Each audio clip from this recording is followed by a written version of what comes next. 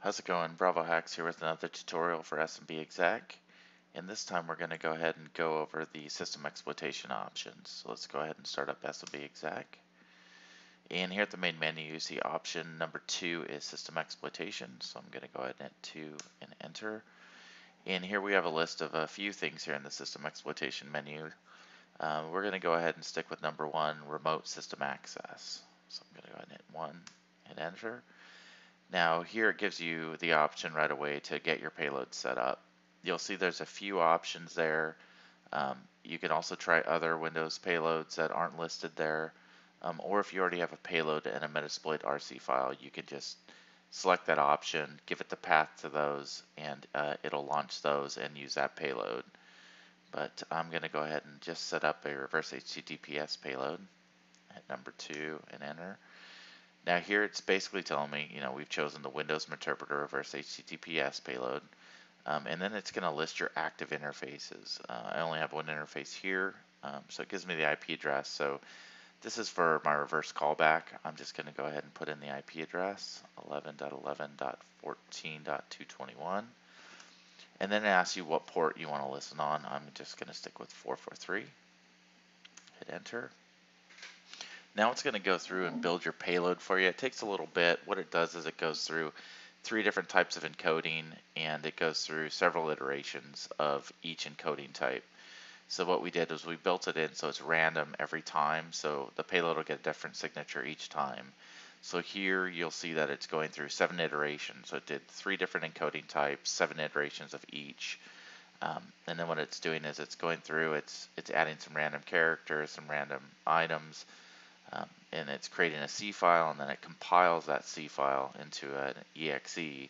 And for the most part, it usually gets past most antivirus. Um, Microsoft Security Essentials is one that uh, I know won't pass. Um, I think Sophos recently we had an issue with. So what you can see over here now, we have the Metasploit console up and listening on port 443.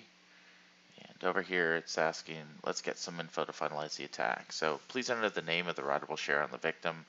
This can be any any share that's basically open that you know that you can write to with your account. So um, C dollar, admin dollar, you know, users, just whatever um, is open on the host. So in this case, I'm just going to hit enter to take the default of C dollar. And then now it's going to ask you to provide the path to place the executable on. Um, a lot of times, you know, we know we can write to a temp directory, so I'm just going to put in whack whack windows, whack whack temp, hit enter. Um, please provide the username to authenticate as, pretty straightforward, administrator, and the password that uh, is for that account. And then in this case, I'm using just a local uh, account. If you had a domain account, this is where you put the domain in. So I'm just going to go ahead and enter to uh, accept the local-host default.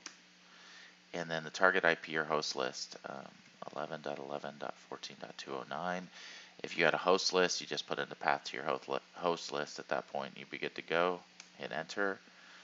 And you can see authentication was successful, uploading and attempting to execute the payload. And you can see in the MSF console here, it's doing its work.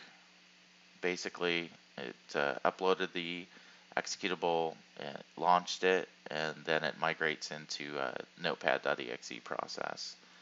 Um, and over here, back on the left, you can see it says ready for cleanup, hit enter when the shells stop rolling in.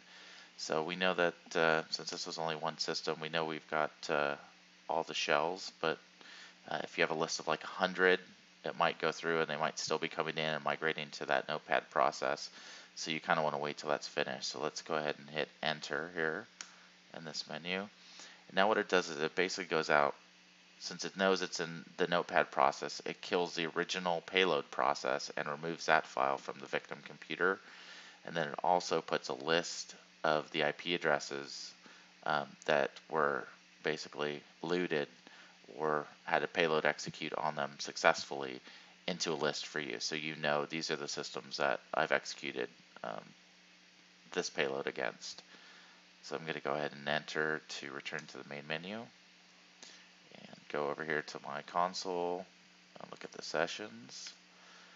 So sessions minus L, you can see I'm logged in on uh, system with administrator. So if I want to interact, minus I1 of course.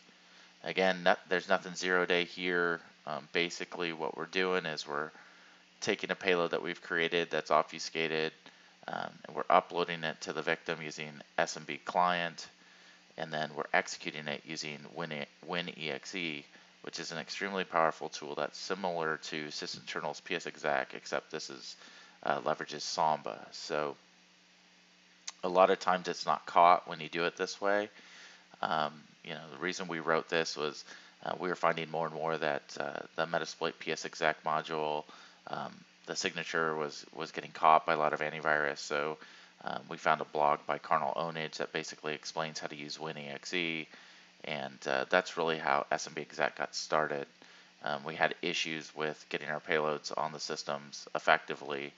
And um, we, once we found that blog, we read it. We basically just automated the process here for ourselves, and now we're sharing it with you guys. So I'm going to go ahead and just exit out of this. You guys have seen all this before. And Control C out of it. Close that window. Now, a lot of people, they don't like Xterm, which is fine. No problem with that. If you don't like Xterm, let me go ahead and show you in the code here. Um, it's right near the top. You see there's two lines here that basically states, you know, uncom uncomment the following line to launch Metasploit in a screen session instead of an Xterm window. So if you just uncomment that and then rerun it, at that point, no matter what, it's going to always run in a screen session for you.